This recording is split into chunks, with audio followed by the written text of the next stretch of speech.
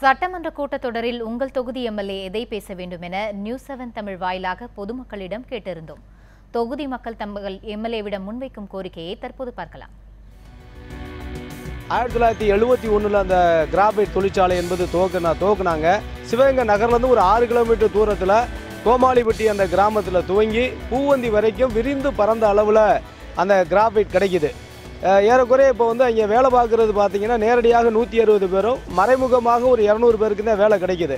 ஆனால் இந்த கிராஃபைட்டை பயன்படுத்தி ஏராளமான உப தொழில்கள் வந்து உருவாக்க முடியும். உதாரணத்துக்கு வந்து ராக்கெட்டில் பயன்படுத்தக்கூடிய உபகரணங்கள் தயாரிக்கலாம்னு சொல்கிறாங்க அணு உலைகளுக்கான உலை கலனுக்கான வெப்பத்தை தாங்கக்கூடிய அந்த உபபொருட்கள் தயாரிக்கலாம். பென்சில் உள்ளிட்டு இப்படி ஏராளமான உப பொருட்களை வந்து கிராபைட் மூலமாக தயாரிக்க முடியும். இதை வந்து விஞ்ஞானிகள் அறிவியலாளர்கள் வந்து சொல்லியிருக்காங்க. எனவே தான் வந்து இந்த கிராஃபைட்டை துவங்குற பொழுதே வந்து ஒரு பலாயிரம் பேர்களுக்கு வேலை வாய்ப்பு கிடைக்கும் அப்படின்ற மாதிரி சொல்லப்பட்டது. ஆனால் இன்னைக்கு வரைக்கும் அது நடக்கலை.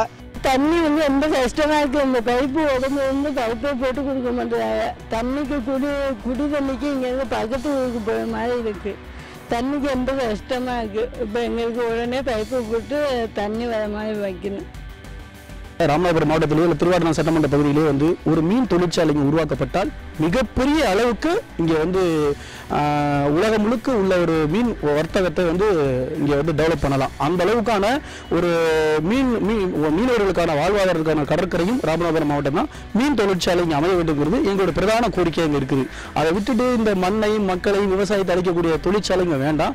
கடலும் கடலை ஒட்டி இருக்கக்கூடிய பகுதிகளில் மீன் தொழிற்சாலை இங்கே உருவாக்கப்பட்டால் நிச்சயமாக இந்த மண் இந்த மண்ணை சார்ந்தக்கூடிய கடலும் கடற்கரை சார்ந்தக்கூடிய கடலோடிகள் மிகப்பெரிய அளவுக்கு வந்து தொழில் வளர்ச்சியில் முன்னுக்கு வருவார்கள்.